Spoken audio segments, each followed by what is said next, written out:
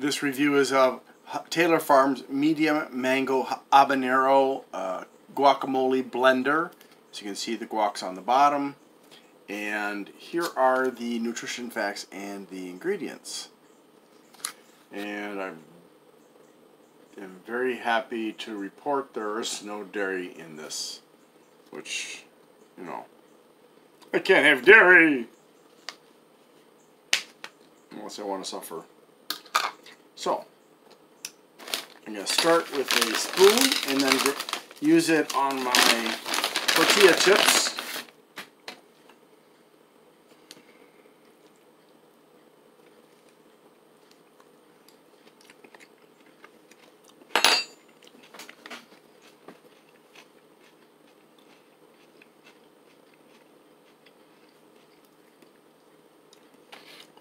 That's nice. Um, the, gar the guacamole is garlic based.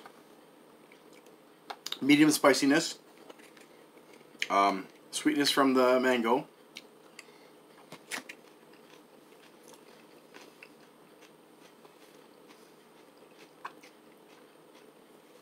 Pretty flavorful. I like this.